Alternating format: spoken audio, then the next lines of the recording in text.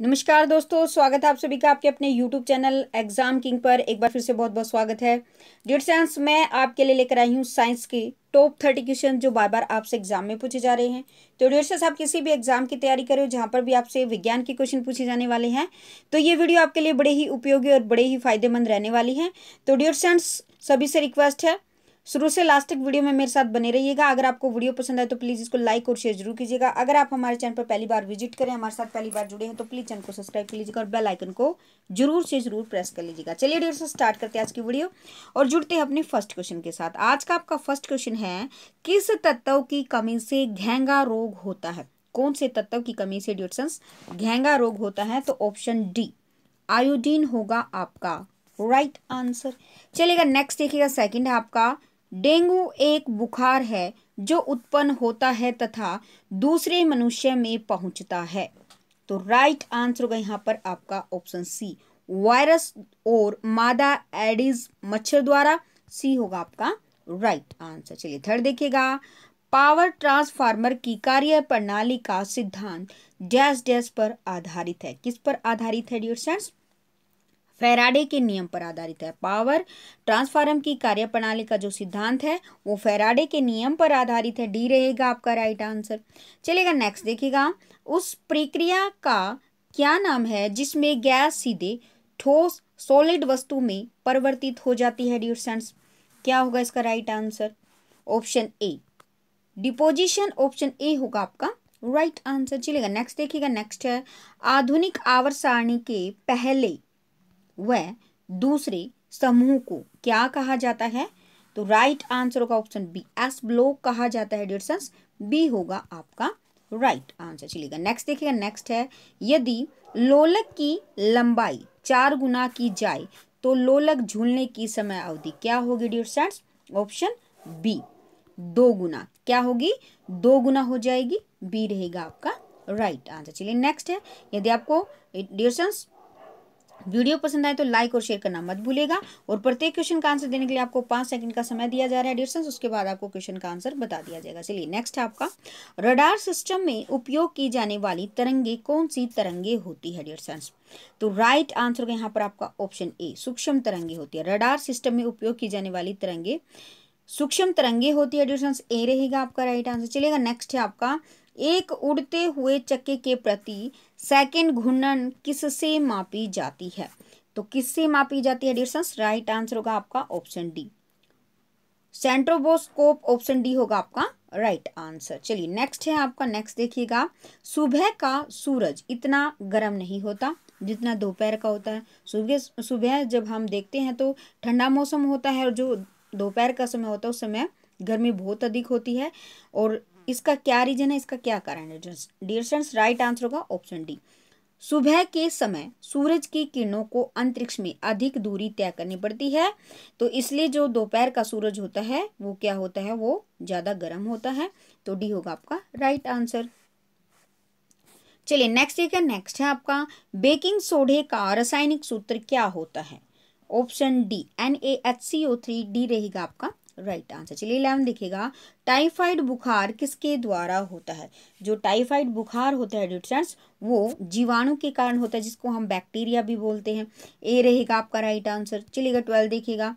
निम्न में कौन सा प्लाज्मोडियम परजीवी का वाहक है? तो ऑप्शन ए मच्छर होगा आपका राइट आंसर थर्टीन देखिएगा। विकासवाद का सिद्धांत किसने प्रतिपादित किया? विकासवाद का सिद्धांत डियर्सन्स किसने प्रतिपादित किया था? ऑप्शन ए डार्विन होगा आपका राइट आंसर नेक्स्ट है आपका फोर्टीन देखिएगा। एक वस्तु पर लगाए गए गुरुत्वाकर्षण बल को क्या कहा जाता है? ऑप्शन बी वज़न कहा जाता है। बी रहेगा आपका राइट आंसर नेक्स्ट आपका फिफ्टीन देखिएगा। हथेली पर रखने पर निम्न में से कौन सा तत्व पिघल जाता है? उपयुक्त दोनों, गैलीलियम और सीजियम, दोनों क्या हो जाते हैं? पिघल जाते हैं डियर्सन्स तो सी रहेगा आपका राइट आंसर चलिए सिक्सटीन देखेगा आयनिक यौगिक के गलनांक और कंथनांक डैश डैश होते हैं। ऑप्शन ए उच्च होते हैं। आयनिक यौगिक के गलनांक और कंथनांक दोनों क्या होते हैं? उच्च होते हैं। ए होगा आपका राइट आंसर चलिए नेक्स्ट आपका सेवनटीन देखिएगा। बर्फ़ को पिघलने से बचाने के लिए निम्नलिखित में से किसका प्रयोग किया जाता है? ऑप्शन बी, नमक का प्रयोग किया जाता है। डेढ़ बी होगा आपका राइट आंसर चलिए एटीन है आपका। तारे मुख्य किसके बने होते हैं? जो तारे होते हैं डेढ़ वो किसके बने होते हैं? हाइड्रोजन, हीलियम के बने होते हैं। डी होगा आपका राइट आंसर चलिए नाइनटीन आपका। स्टेनलेस स्टील क्या है फ्रेंड्स ऑप्शन सी, मिश्र धातु। स्टेनलेस स्टील एक मिश्र धातु है। सी होगा आपका राइट आंसर चलिए नेक्स्ट आपका, लोहे की जंग डैश डैश होती है। जो लोहे की जंग होती है, वो रासायनिक प्रक्रिया होती है। बी रहेगा आपका राइट आंसर चलिए ट्वेंटी वन देखिएगा, कांच की सबसे महत्वपूर्ण घटक क्या है? कांच का जो सबसे महत्वपूर्ण घटक है डियर वो क्या है? सिलिका है। सी होगा आपका राइट आंसर चलिए नेक्स्ट आपका, आवर्त सारणी का आविष्कार किसने किया था? आवर्त सारणी का आविष्कार डिस्टेंस दिमित्री मैडलिफ ने किया था। ए होगा आपका राइट आंसर चलिए ट्वेंटी थ्री है आपका।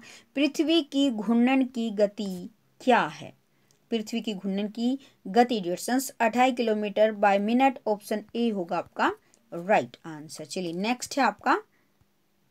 ट्वेंटी फोर देखिएगा, निर्वात में यदि लोहा, कागज़ और पत्थर तीनों को गिराया जाता तो पृथ्वी पहले कौन आएगा?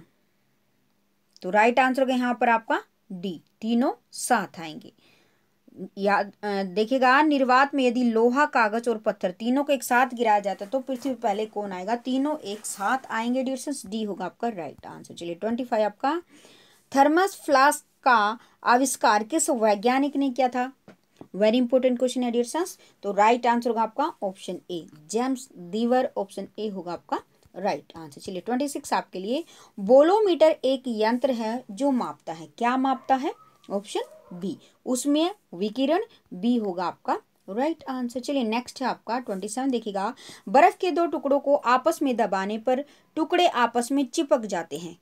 क्यों चिपक जाते हैं? इसका क्या कारण है? क्या रीजन है? ऑप्शन ए दाब अधिक होने से बर्फ़ का गलनांक घट जाता है। इसलिए जो बर्फ़ के दो टुकड़े हैं, जब उनको आपस में दबाने पर वो क्या हो जाते हैं? आपस में चिपक जाते हैं। दाब अधिक होने से बर्फ़ का गलनांक घट जाता है। ए होगा आपका राइट right आंसर चलिए नेक्स्ट है आपका ट्वेंटी एट देखिएगा, ऊंचाई की जगह पर पानी हंड्रेड डिग्री सेल्सियस के नीचे तापमान पर क्यों उबलता है?